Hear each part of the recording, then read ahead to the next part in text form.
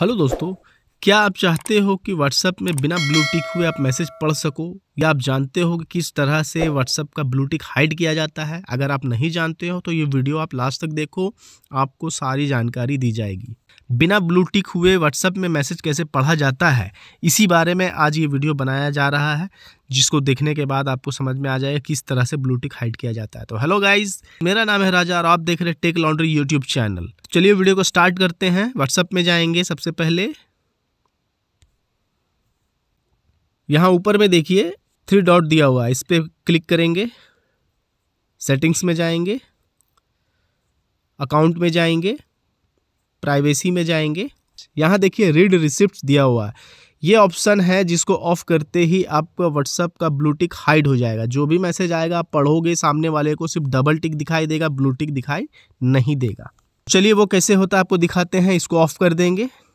Read receipt का option हमने off कर दिया है। अब इस व्हाट्सअप को हम बंद कर देंगे और इस पर एक मैसेज करेंगे अपने दूसरे व्हाट्सअप से। तो ये है मेरा दूसरा व्हाट्सअप करेंगे।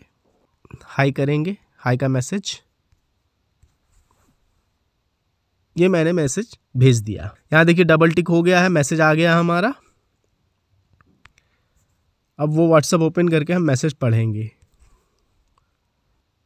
ये मैसेज मैंने पढ़ लिया। यहाँ पे देखिए मैसेज आया हाई का। ये मैंने पढ़ लिया। अब इसको हम बंद कर देंगे ये व्हाट्सअप को।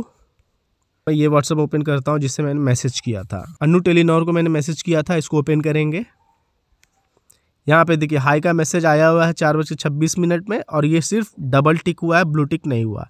तो देखा आपने किस तरह से आप व्हाट्सअप के ब्लू टिक को हाइड कर सकते हो, बहुत ही इजी है, बहुत ही आसान है। तो दोस्तों, आपको हमारा वीडियो कैसा लगा कमेंट करके ज़रूर बताएँ। वीडियो को लाइक करें चैनल को सब्सक्राइब कर लें। हमारे जो यूट्यूब की छोटी सी फैमिली है, उनसे रिक्वेस्ट है कि प्लीज़ वीडियो को देखें, आप हमारे वीडियो को नहीं देख रहे हैं तो ये मुझे कुछ अच्छा नहीं लग रहा है तो प्लीज़ आप लोगों से रिक्वेस्ट है कि आप हमारे वीडियो को देखें ताकि मेरे वीडियो की रीच बढ़े और मुझे मोटिवेशन मिले, मैं और अच्छे अच्छे वीडियो बना सकूँ।